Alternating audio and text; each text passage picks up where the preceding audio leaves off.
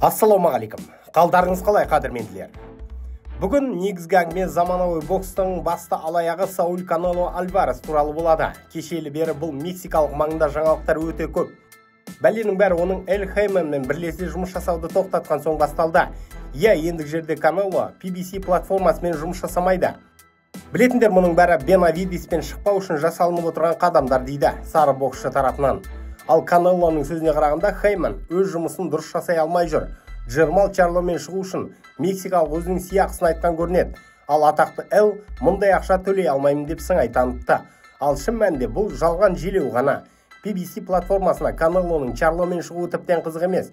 Олар канелоның не кроуфордпен не бенавидеспен шыққанын қалайтындығы ешкімге жасырын емес. Міне осы сындар профи бокс бизнесімен айналысатын платформаға өте тиімді болатын. Алайда неге екені белгісіз канело бенавидестің атын естігенде асау тайдай тулап бұлқынып шыға келеді.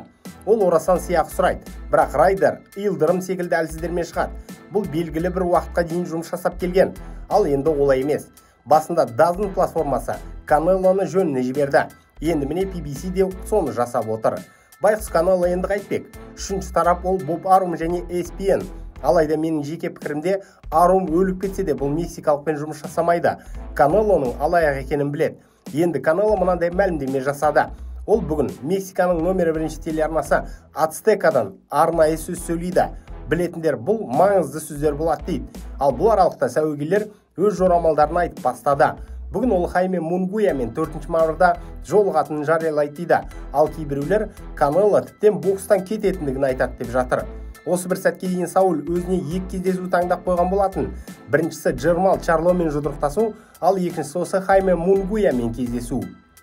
Ал бенавидес туралы ол тіптен жақ ашпады. Әрине жақ ашпайды. Оңбай ұтылу оның жоспарына мүлдем кірмейді.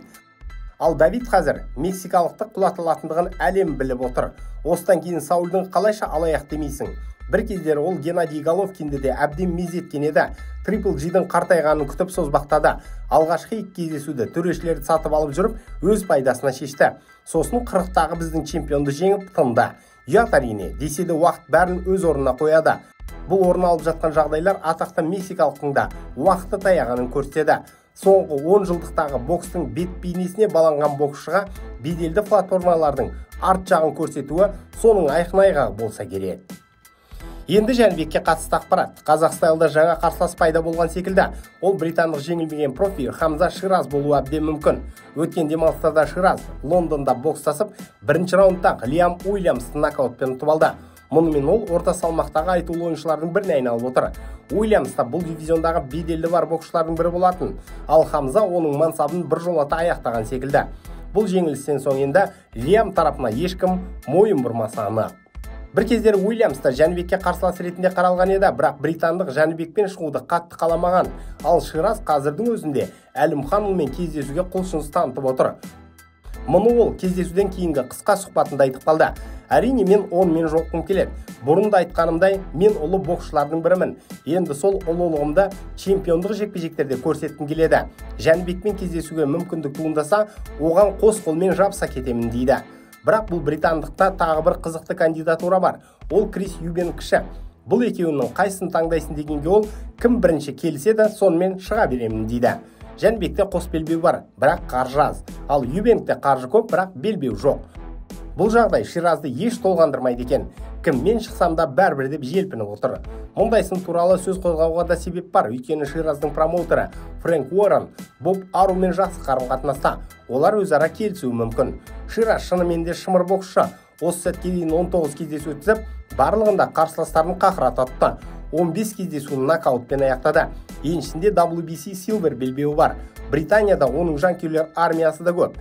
Мен де оны жәнібекке ұсынар едім. Жоқтан жоғары болады қанша дегенмен. Америкада жәнібекке әзірге аулайтын балық жоқ. Сондықтан бағытын британ аралдарына бұрса одан ұтылмайды. Тұманды альбионда да боксты жақсы көреді. Бастысы мұнда қаржы да бар. Демек іске кірісу керек. Бұл кездесу болса енді мамырдан ерте өтпейді. Наурыз айы әні міне келіп қалды. Ораза айы басталады. Жәнібек енді мұсылманның бес парызының бірін өтеген соң ғана сапарын бастайды. Ол қай бағыт болады? Америка ма әлде британия ма? Бұл жақ әзірге беймәлім. Бейне материал ұнады ма онда лайк басыңыз пікір қалдырыңыз. Бұл біз үшін маңызды. Арнаға жазылып қоңыраушаны басып қойсаңыздар соңғы жаңалықтарды бірден біліп отырасыздар. Уақыт тауып тамашалағандарыңыз үшін рахмет. Қазақ батырларының жеңісті жорықтары молынан болсын.